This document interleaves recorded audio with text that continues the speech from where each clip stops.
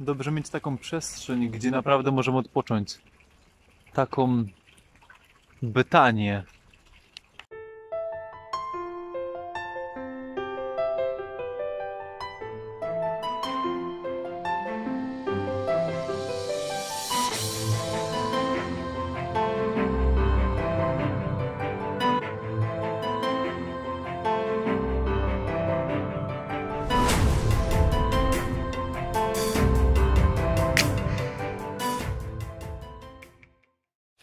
Jezus miał potrzebę zatrzymania, odpoczynku, on miał potrzebę przyjaciół, relacji. Przecież to byłoby antyludzkie, gdyby Jezus nie dbał o swoje przyjaźnie.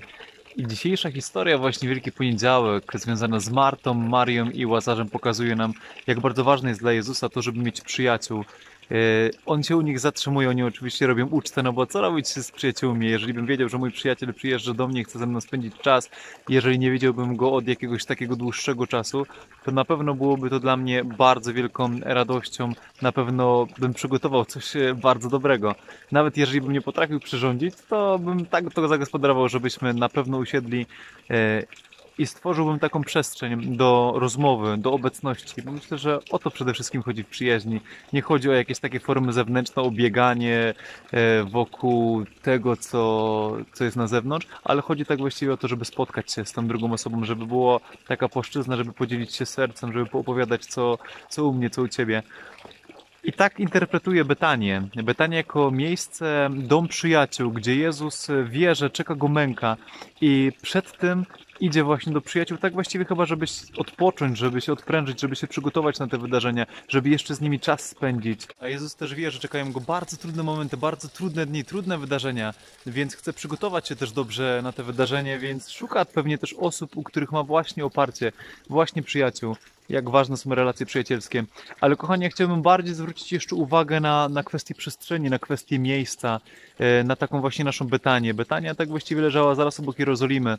I pytanie do Ciebie, czy Ty masz swoją Betanię? Czy masz takie miejsce, gdzie odpoczywasz? Czy masz takie miejsce, gdzie się regenerujesz siły? Czy masz takie miejsce, gdzie spotykasz się z przyjaciółmi i jest to zawsze dla Ciebie dobre spotkanie? Jest to spotkanie odprężające? Jest to spotkanie właśnie dla Ciebie budujące? Czy masz, e, można powiedzieć, swoją Betanię? E, tak sobie pomyślałem o mojej relacji właśnie z Bogiem i dla mnie taką Betanią jest rzeczywiście czas, kiedy wyruszam na rekolekcje ignacjańskie, kiedy spędzam tydzień czasu w ciszy, czy to Czechowice-Dziedzice, czy to jest Kraków, czy to są jakieś takie po prostu inne miejsca. To jest moja Betania, miejsce takiej przystani, miejsce wchodzenia w głąb, miejsce naprawdę głębokich rozmów z przyjacielem, miejsce tego, że go naprawdę słucham i staram się wsłuchać i mam czas na to słuchanie i dbam o to mocno.